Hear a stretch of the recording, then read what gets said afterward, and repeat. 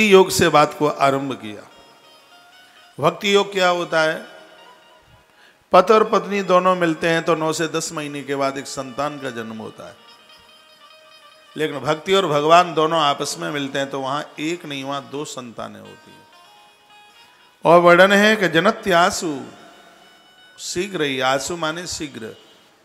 दोनों के मिलने से शीघ्र ही दो संतानें पैदा होती हैं, वैराग्यम ज्ञानम च यद हेतुकम एक का नाम है ज्ञान और एक का नाम है वैराग्य। बहुत ध्यान से सुनना।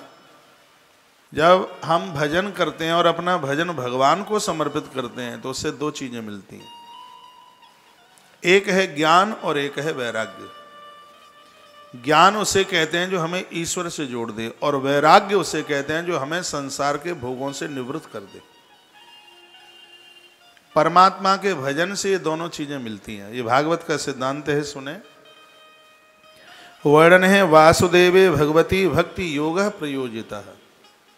भगवान के अति प्रसन्न होने पर हमारा भक्ति योग बढ़ता है। भक्ति योग का मतलब हमारा भजन भगवान ने स्वीकार कर लिया। भक्ति और भगवान का मिलना ही भक्ति योग है। जब ये दोनों आपस में ऐसे मिलते हैं जैसे संसार में पति और पत्नी का मिलाप, उन दोनों के मिलने से एक संतान जन्म लेती है और उसको नौ से दस महीने लगते हैं जन्म लेने में। लेकिन भक्ति और भगवान जब आपस में मिलते हैं तो जनत्यासु आँसू शीघ्र, देर नहीं, बिल्कुल शीघ्र ही यहाँ भी दो संतानें पैदा हो जाती हैं। एक का नाम है वैराग्यम, दूसरे का ज्ञानम च यद हेतुकम दो हैं, ज्ञान और वैराग्य। ज्ञान क्या है?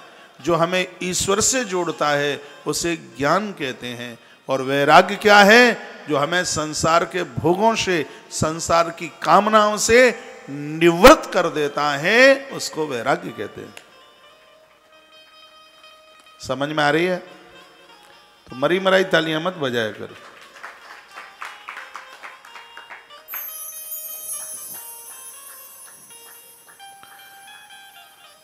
तो यहाँ से कथा को आरंभ किया। दोनों जी, चीज़ें जीवन में बहुत ज़्यादा ज़रूरी है। ज्ञान भी चाहिए और वैराग्य भी चाहिए। ज्ञान का मतलब किताबें पढ़ लेना नहीं है। ज्ञान का मतलब है ईश्वर की स्मृति हो जाए। देह से उठ जाए। ज्ञान।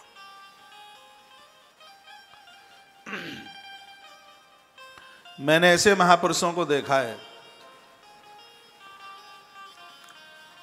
अपने ज्ञान में बहुत आगे बढ़ चुके हैं।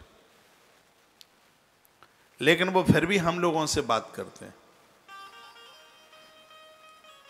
वह उनकी बड़ी महिमा है, उन्हें इस संसार से कुछ भी नहीं चाहिए। उनका किया गया सत्कार्य ही प्रकृति का सौंदर्य बढ़ा रहा है।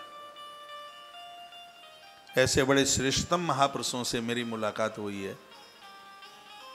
उनका इतना सुनहरा जीवन है, इतनी मस्ती का जीवन है उनको। ना उन्हें पहनने पर ध्यान है, ना खाने पर ध्यान है, ना दुनियादारी से ध्यान है। चाहे उनकी कोई स्तुति करे, चाहे उन्हें कोई गालियाँ दे, उन्हें कोई फ़र्क नहीं पड़ता। ऐसे महापुरुष। जिन्हें अपने आप का होश ही नहीं है, बिल्कुल। और ऐसे महापुरुष दुनिया के ऊपर कृपा की बरसात कर रहे हैं। दोनों चीज़ें उनके अंदर होती हैं। ईश्वर से जुड़े हैं, इसलिए उनके पास ज्ञान है। संसार से कुछ नहीं चाहिए, इसलिए उनके पास वैराग्य है। और जिसके पास ज्ञान और वैराग्य और भक्ति तीनों चीज़ें होंगी, भगवान उसी के हृदय में बैठेंगे आके। वही तो सीधा रामायण में प्रसंग है, केवट का। केवट के पास तीनों चीज़ें। उसके पास ज्ञान है, कहता है, कहो तुम्हारो मरमु में जाना। जो भगवान को समझने को चल पड़े हैं अपने आप को पहले समझो, तभी भगवान को समझ पाओगे। ये ज्ञान है। अब कछुनाथ न चाहिए मोरे, ये वैराग्य है। भक्ति क्या है? आज नाथ कहा न पावा। आज नाथ में कहा न पावा। मिटहे दोष। कृपा तो आपने ऐसी कर दी है। अब क्या चाहिए? मुझे आपकी कृपा से सब कुछ मिल गया, आप मिल गए, क्या चाहिए? तीनों चीज़ें हैं, तभी तो उसके हृदय की नौका में भगवान आके बैठते तो श्रीमद भागवत जी आपकी हृदय रूपी नाव में भगवान को आके विराजित कर देती है। पूर्व के भागवत के वक्ताओं को आप देखिए, भगवान के लिए फूट फूट करके रोते थे। भगवान की हाथ की हथेली पर रखी हुई सामग्री का भोग लगाते थे। ईश्वर था ईश्वर है और ईश्वर रहेगा।